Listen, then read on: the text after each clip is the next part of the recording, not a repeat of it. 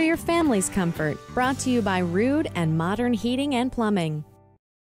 Hi, welcome to For Your Family's Comfort, brought to you by Modern Heating and Plumbing and Rude Heating and Air Conditioning.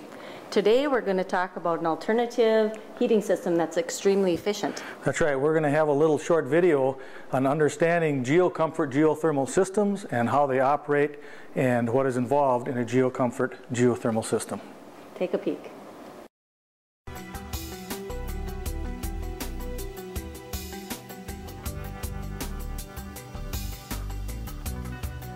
Fundamentally, geothermal systems work differently than ordinary heating and cooling systems.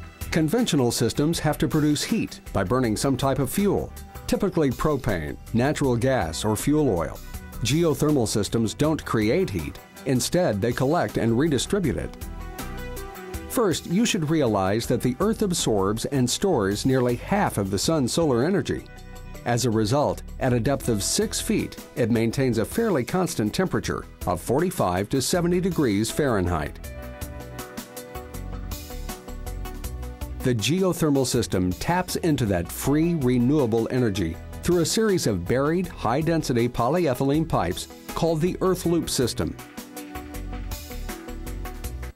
For homes with limited space, the loop can be installed in vertical boreholes that are drilled between 150 and 300 feet in depth.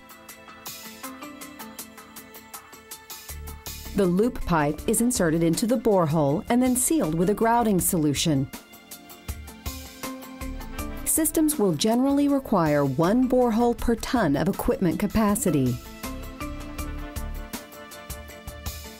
For homeowners with more space, a horizontal system can be installed in trenches between 150 and 300 feet in length at a depth of 6 to 8 feet. Horizontal loops can come in a number of different sizes and configurations depending on the space available and system requirements.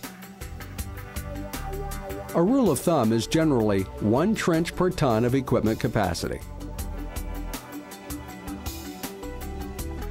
Your local GeoComfort specialist will examine your home and help you determine what type of earth loop is right for you.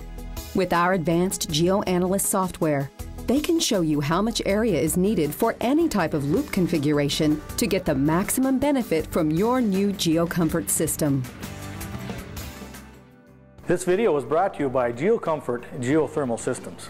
And next week, we're going to talk more about GeoComfort geothermal systems. We're going to talk about the components involved in a complete heating system. That's right. So we'll see you next week.